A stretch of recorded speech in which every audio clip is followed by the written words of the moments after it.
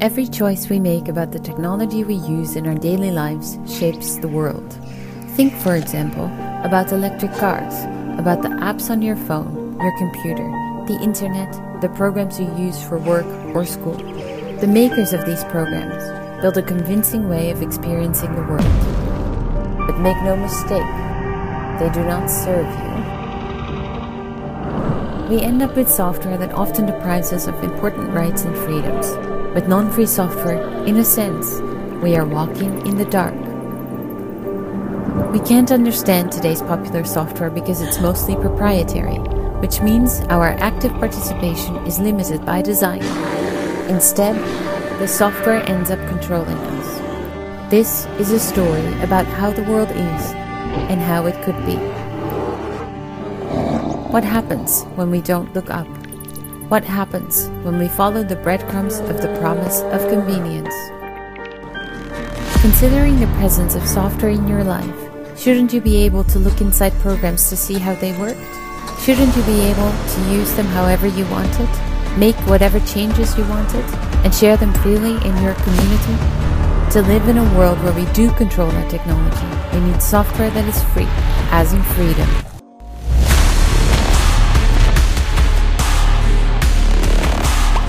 All software is basically a set of instructions to a computer, which come together like building blocks to make up your program.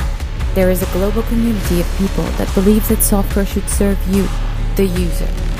That you should be able to freely access, make changes, and share these building blocks to your liking. And when you can, we call it free software. With free software, you can not only check that software does what it says it does, like protect your privacy, you can also adjust it to make it do something new, something creative. You can solve any issue that you can think of. We protect this freedom by using a concept called copyleft. This makes it so that all modified and extended versions of a program are required to be free as in freedom as well. Software freedom is worth fighting for. As the user, you have the power to demand change.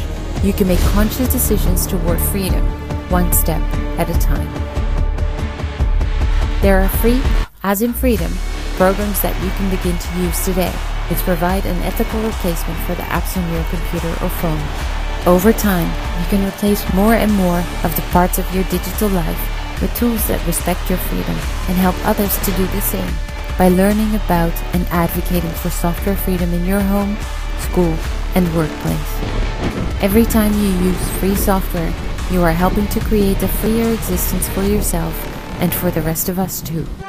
This just in, shocking new video from a school teacher who wandered into a cave and found out what's really going on with these devices we're all carrying around in our pockets. It turns out they're a form of mind control, and the end game is walking unconsciously right into the mouths of monsters. Free software is important, not just when thinking of technology, but it matters for a free society. So from now on, when you are speaking about any kind of freedom, please consider the role that software plays in that cause.